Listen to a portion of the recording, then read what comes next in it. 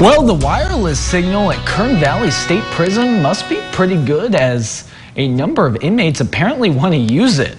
According to a recent court filing, staff at the Delano prison seized boxes on July 1st shipped through FedEx and found 85 cell phones inside. The phones were shipped in six boxes addressed to three inmates. Investigators said the phones have an approximate prison value of uh, $425,000.